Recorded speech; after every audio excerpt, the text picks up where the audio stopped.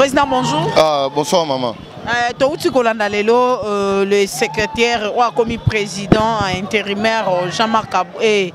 Augustin Kabuya awuti vraiment komartele kolobela bapoint ebele compte tenu ya état ya parti na bino euh, ameki mpe kotouche mwa bapoint ebele kasi lelo baimboko bakolanda to mpe bana idps oyo bazali na niveau ya diaspora bakoki koretenir nini na message ya mokolo bon merci beaucoup d'abord il faut signaler qu'il n'est pas le président intérimaire il est toujours secrétaire général okay. mais euh, il assume étant donné que poste est vacant ako asime baaffaire courante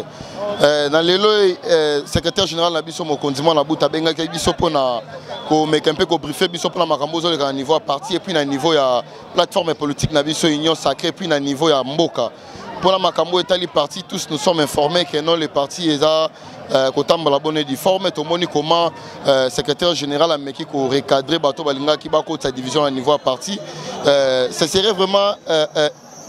anormal énormément anormal lelo ya kosouhaite ya kokweyisa badécision nyonso ndeko jean marc abunda azwaki voilà pourquoi amekaki koexplike biso le pourquoi oyo abandaki kotenir mordikis ya, ya, ko, ya, ko, ya, ko, ya korefuse makambo wana mais il n'existe pas de bloc na babloc oyo mosusu entre guillemets ya wakwenda wana makambo wana eza te le parti est un et indivisible yango mona amekaki kobriefe biso epuis na makambo oyo etali bacarte tomoni euh, un secrétaire général ntango notre secrétaire général ntango aheritaki parti aheritaki kaka baactif te mais aussi bapassif bamakambo etali ya bacarte ye avant azala même secrétaire général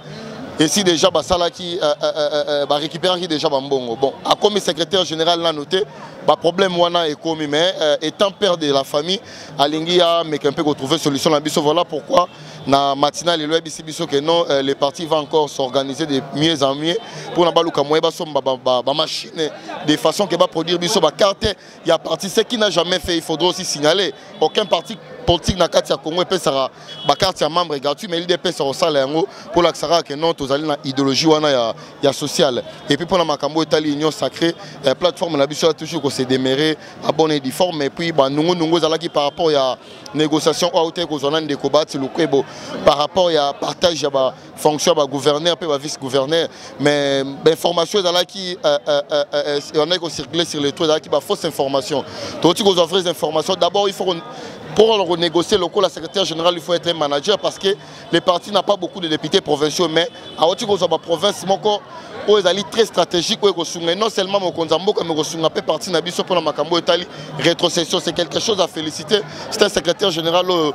asengeli vraiment na niveau ya parti politique na biso au pouvoir mpona komeka mpe kokendisa makambo liboso epuis mpona makambo oyo etali situation politique ya mboka amekaki kobriefe biso donc en grosso modo c'est ça par rapport ya, ya question na mama merci, ah, merci. mwana mboka mbote na yo mbote mama tomoni yo lelo na bapota euh, mekana mpe koexplike bayimboko bakolanda biso à travers média na biso c'est quoi le tonka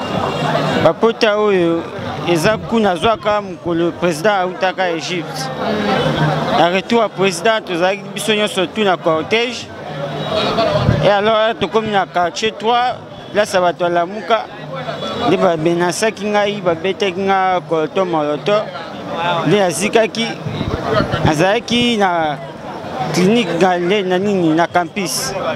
nde nayolongo na campus président ayotinda bayotinda nga na hg président moto azwaki nga charge ayaki mpe kovisite nga le jour moko ayebisaki nga ke aotika nga te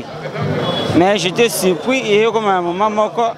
bato hôpital bayesangaki ebima da président afuti mbongo na yo boye na boye il faut kaka kobima boyaki wana baobimisa ngai ezalaki 22 yango nabima na hôpital alors ti lelo naza kaka na se boye yango naosenga na mokonzi ya mboka vraimen asunga ngai parce que naza na eloko autrement ya basala te c'est pour cela yango wana nyonso tuna ezali yango mposa ya koloba maintenant na hôpital babimisi yo sans encore ya, ya accord ya président de la république entre temps déjà na hôpital balobi yo moko nde obimaki non nga moko nabimi na volonté na ngai te bango nde bapousse ngai babima parce que ngai abaki na obima te soki isagi ata botombola ngai bobwaka ngai libanda botombola ngai bainsiste ke président déjà afuti biso mbongo seke yo il faut libere chambre parce que okanga chambre yango wana omonaki nabimaki babimisi nga 22 heures oyo nabimaki okemaki nga afandi na kingasani sikoyo na minute oyo nzoto nzoto yango eza bien te naza na wana bapota bapota esili nanu te naza na bapota nazikaki makasi donc so otali na nsima mokongo nyonso batumbaki ngai na bi babetaki ngai koloto moloto otumbaki okotumba ah. message nini okolanse lelo na président de la république azolanse message kaka ke ayebisaki nga alakaki nga ke akotika ngai te na quartier 3 na quartier 3 quartier 3 na quartier 3 na kingasani na kingasani mokolo ah. président awutaki egypteawutaki egypte oui c'est ça e alors nazosengaka epa président atika nga te so atiki nga boye donc mawa plein asali so mpe 4 jours une semaine da yango nasali libanda bapoto ebimisa bato fina donc na autre mawa sala te so atiki nga boye mawa plein ekomi kobima tofina na minute oyo basoin oarrete kolongola chemise mpo epermettre bato baolanda biso bamona ezali ndeko oyo akutanaki na likama mokolo oyo président autaki egypte nde selon ye alobi ke ezalaki bandeko to mpe bamilitaire ya lamuka azalaki bongo loge na hôpital hj na compte ya président de la république mais après président kolongwa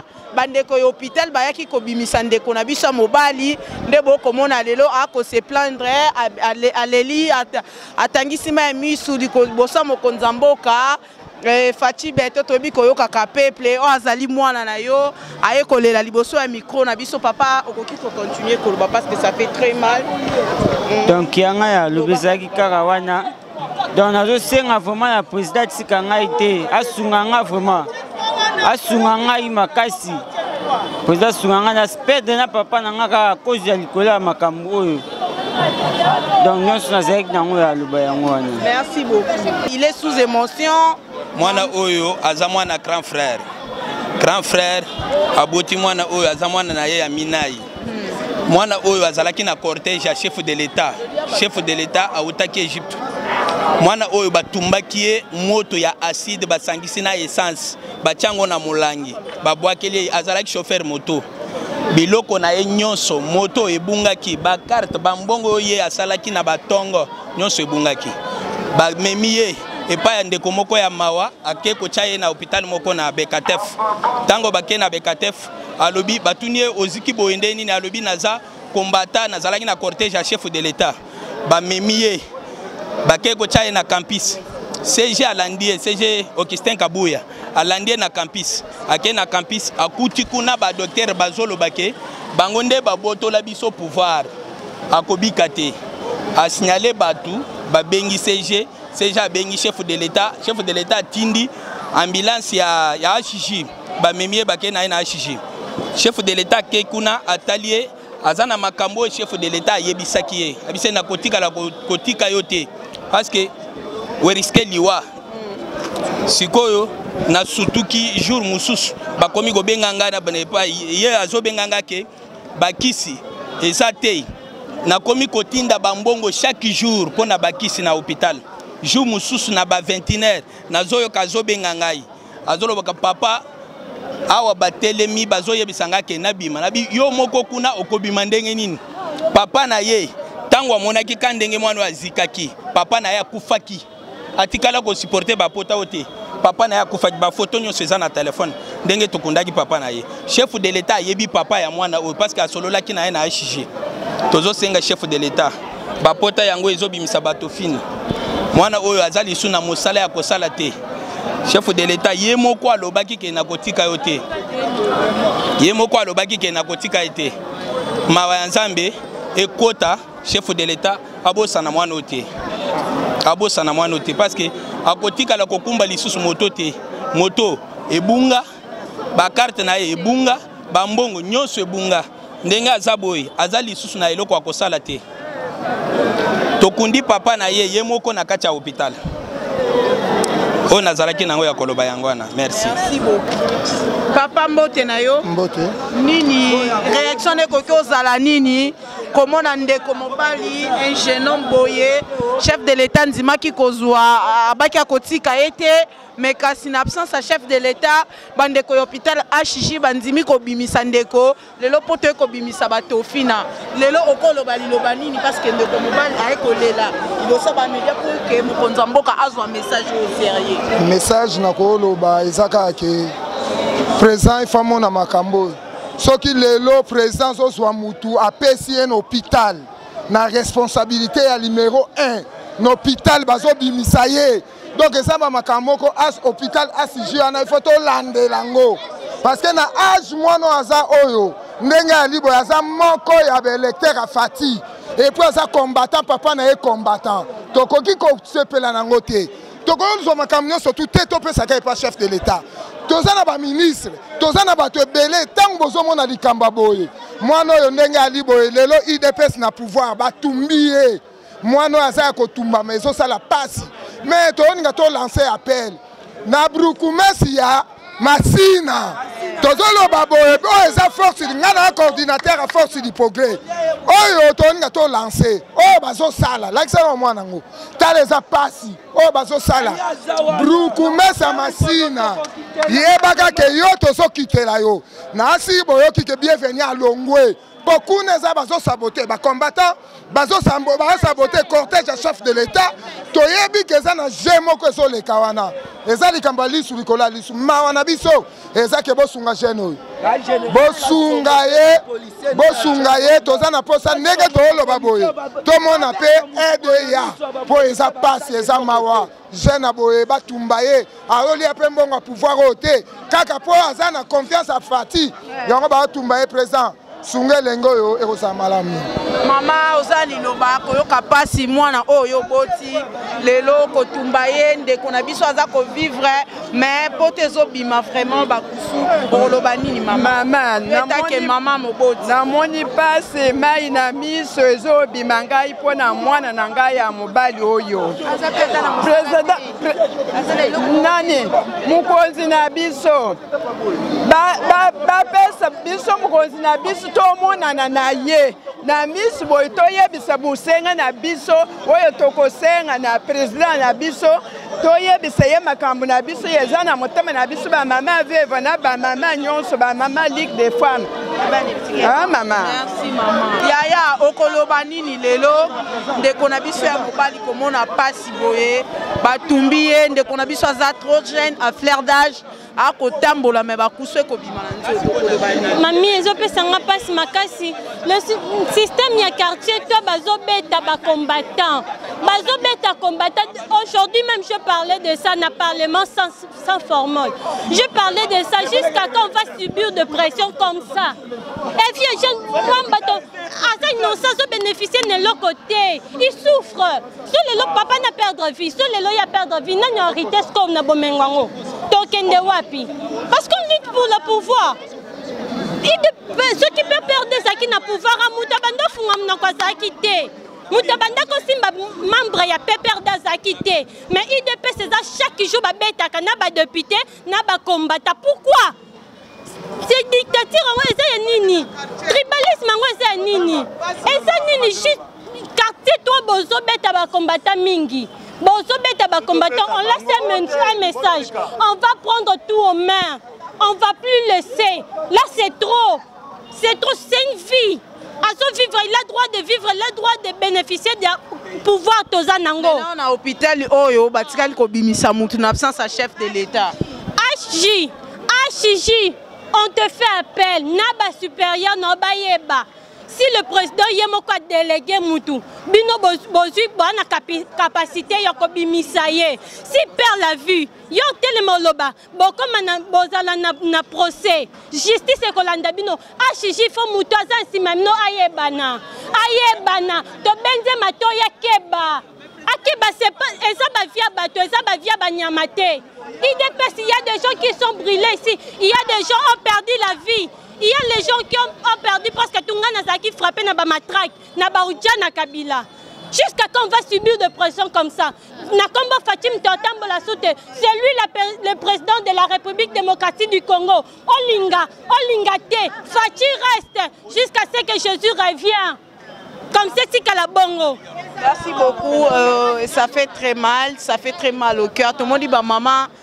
ba continuer toujours ko réagir par rapport à mwana na bino oyo lelo akotambola na bapota na nzoto bakusu ebimi na nzoto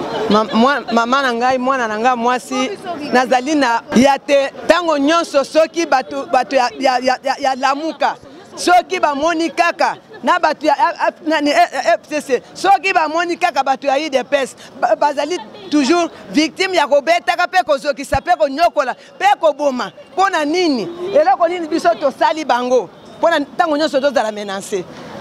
mwana oyo azali nanu azali na ntango mwana azali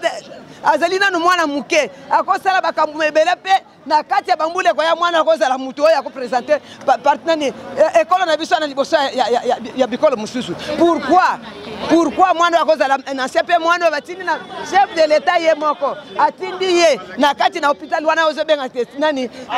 ashiji ashiji ezali ke bozali na moto aza nsima na bino na oyo atindi bino oyo azali nsima na bino naza koloba na bino ke bonyokolaka soki président apesi mot d'ordre te bobatela malade oyo bino boboya kotraite ye toyebi ke azali adversaire ya chef de l'etat mwana oyo bino bobwakisi bozali na dossier boyeba bieke boza na dossier moko makasi justice ekolandela bino bokobimisa ah, motu wana azali na nsima na bino ashishi ekotikala pamba te nazali koloba boye président de la république talaka liso tala lisu bato wana bazalaki na pouvoir biso tozalaki na ntango moko te ya kosala bango biloko bango bazosala biso lelo ekomi pouvoir na yo bakomi kosala ke bazala lere nyonso kogrese bato ya, ya, ya udps bazali kobeta mikolo nyonso meme aleki na, aza na munyere na mutu babendi babeti babuki banyati meme azali kaka na, na, na, na, na, na t-shirt na yo bazali kobeta bazali kobeta balingi ko mwana moto aidepesi te estce ezali ezalaka wapi bato oyo boye e, e, e, eloko nini ezopesa bango courage wana nalobi epe bazali na bakuluna na bango bango basi bapesaki toyebi bien ke biso baoyo baoyo ya yo tozalaki kokende kotika bamemo na, na, na, na, na kati na seni bakamata tomona bato bapesaka bango ba arme blanche oyo lelo tozongo na kuluna na toni na mboka oyo ezali nani francis kalombo andre kimbuta bango moto bapesaki bango ba arme blanche oyo na nsima ya, ya botour ezalaki na presence na biso oui na nsima botour biso na kati ya marche tozokende kotika memo na kati na, na, na, na, na seni toyebi makambo nyonso wana bamona teke biso toza bazoba lelo biso baoyo ngai mama twalu mujinga marie therese nazali na victime ya Ketima de Bali na 2012 mpona kobima président Estienne Tshisekedi ler ya gagné procès na 2012 mpo te tokende kotika na palais de la nation ler ya ndeki déjà élection mpo tokende se na palais de la nation ngai nazali victime ya Ketima ya Bali natikala kosouffrir ti nazalaka ntango nyonso kozwa baresite likolo ya bali wana ezwaki ngai nazali toujours souffrante e lelo nazali babokanga lisusu na kati ya ya, ya campagne ya président de la république mpo na nini biso tolinga te biso tomona ye toza na posa ya komona président ngai personnel naza na posa ya komona président mpo na solani aza na makambo naza mpe na message na ye boni ezosala bangobeaucoup mama tokocontinue kozwa baréaction ya bamama komona ndeko na biso ya mobali Euh, mokolo oyo président de la république autaki egypte ndenge bautaki koyamba ye par rapport ya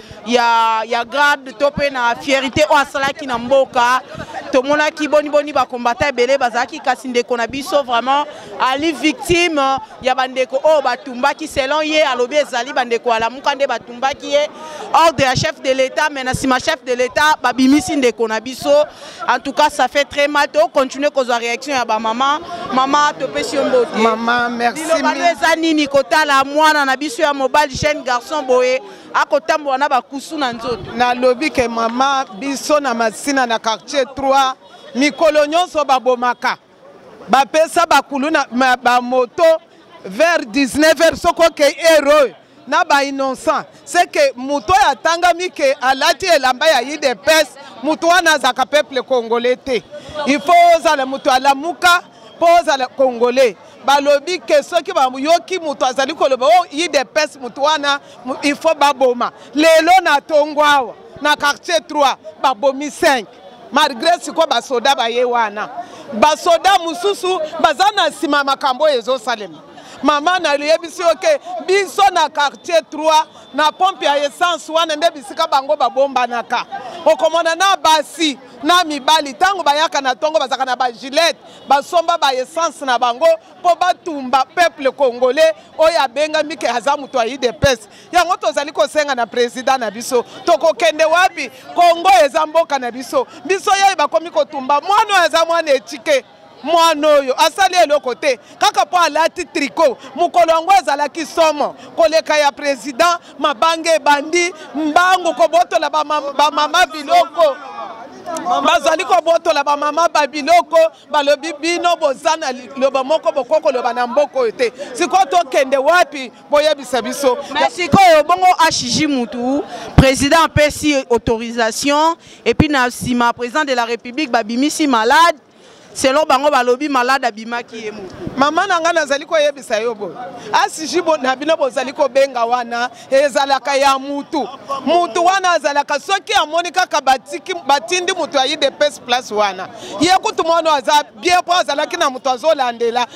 yango abimi bango babomaka nde koboma yango tozali koyebisa bango tosi toyebi makambo nyonso basalaka kuna yango nzambe alalaka te nzambe ya bana kongo akotelema mokolo ekozala bango na kabila tosi toyebi baje bazali kosala mboka oyo eza mboka nzambe nde liloba